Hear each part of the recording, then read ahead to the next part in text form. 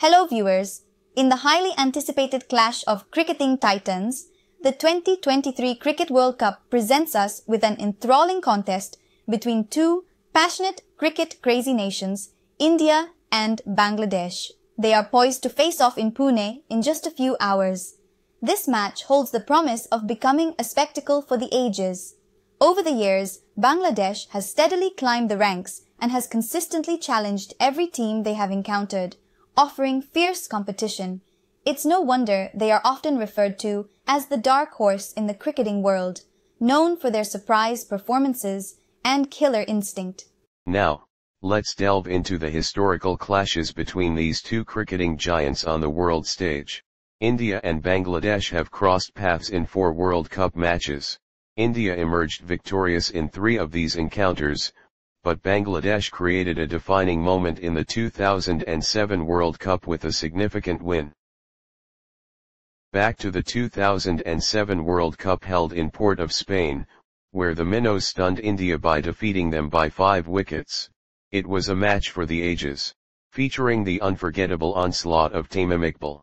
Mashrafe Mortaza rightfully claimed the man of the match title for his bowling figures of 4 for 38. Fast forward to 2011, the World Cup match in Mirpur, where the Indian squad sought sweet revenge for their previous defeat.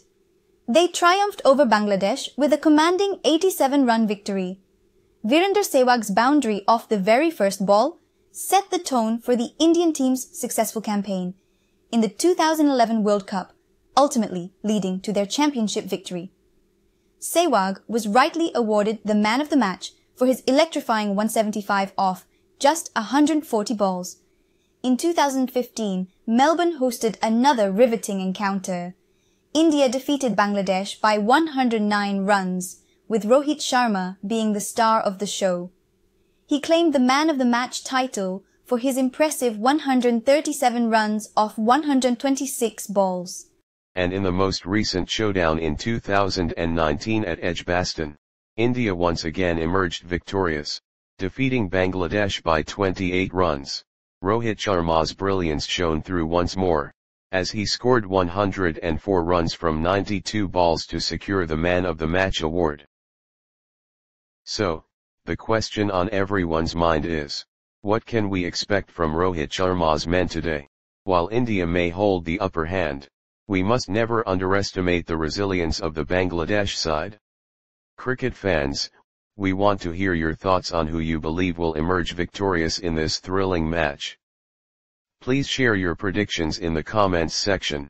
If you found this update informative and engaging, don't forget to show your support by giving it a thumbs up and subscribing for more exciting updates. Be sure to hit that notification bell so you never miss any future videos. Thank you for tuning in and we'll catch you next time right here on the Art Factory. Until then, bye bye from Pooja and David.